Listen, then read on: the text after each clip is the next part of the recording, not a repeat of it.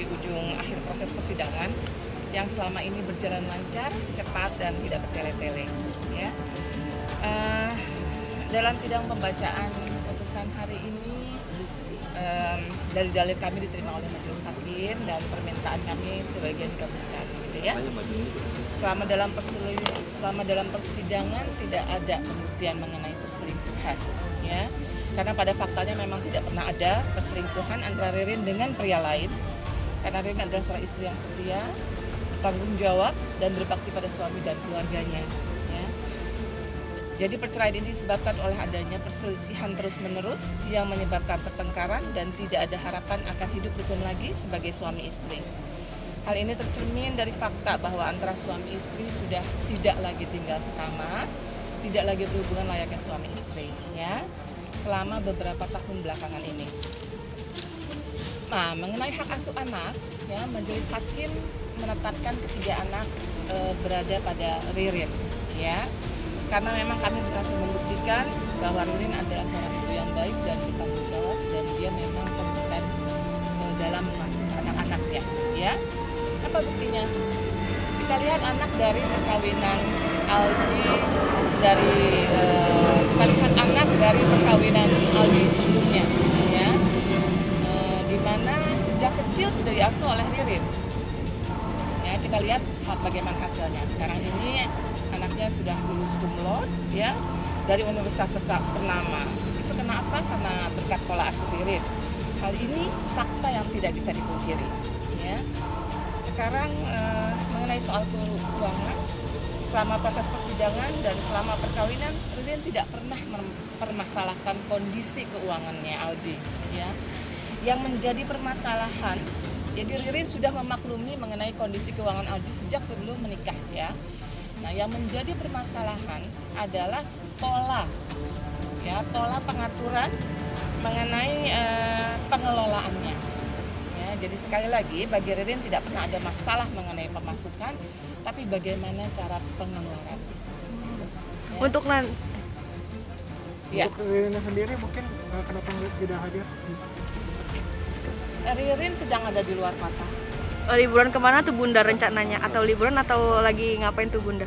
Uh, ya sedang ada yang diurus saja dan memang membawa anak-anak ya. Nah, tapi memang ada yang sedang diurus. Ada poin-poin yang dikabulkan itu uh, bisa jelaskan poin-poin apa aja?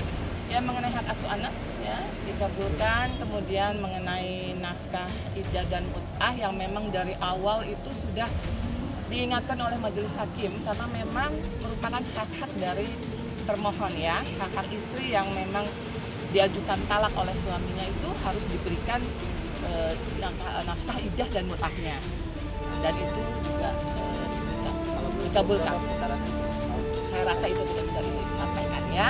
Ibu tadi ke di problem pertama adanya perselisihan. Mungkin uh, perbedaan apa sebagaimana tadi saya sampaikan bahwa permasalahan yang ada adalah uh, perselisihan yang terus menerus sehingga terjadi pertengkaran dan tidak dapat hidup lagi dalam rumah tangga. Uh, salah satunya memang mengenai masalah keuangan, tapi bukan mengenai kondisi keuangan Aldi, ya.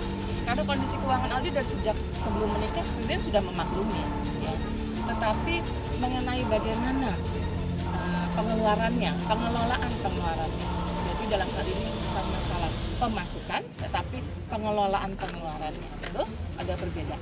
Tapi nanti untuk anak bisa bertemu dengan Bang Aldinya sendiri Bu atau oh, gimana? Tentu, tentu. Ada waktu-waktu ya, tersendiri tentu Bu? sekali. -hmm. uh, ini kan memang uh, hak anak itu hak asuh anak itu sendiri memang ada di dalam undang undang-undang perlindungan anak ya bahwa anak itu harus jelas berada di mana ya.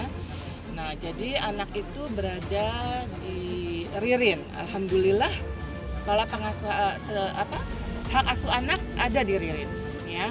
Tetapi pola pengasuhannya tetap bisa dilakukan secara bersama gitu ya. Jadi nanti kita akan sepakati mengenai uh, waktu-waktunya ya. Dari pihak kali sendiri mungkin ada keberatan atau apa dari poin-poin tadi? Uh, itu harus uh, ditanyakan kepada kuasa hukumnya. Tapi tadi saya memang melihat bahwa uh, mereka ada uh, ada ya ada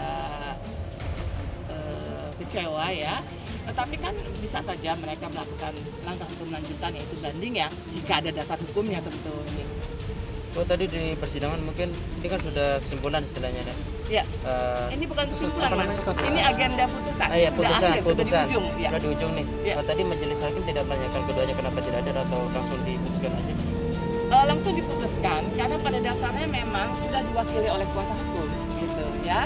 Nah, kuasa hukum kan kehadirannya itu sudah eh, untuk dan atas nama dari prinsipal dalam hal ini eh, termohon oleh kuasa anak diwakili oleh kami. untuk pembagian harta bersama yang didapat selama pernikahan gimana dari dari mengajukan itu atau gimana? Eh, itu memang sudah ada dalam kesepakatan bersama ya Nah, tentu tapi kan eh, memang memerlukan langkah hukum lagi ya pada penetapan sudah jelas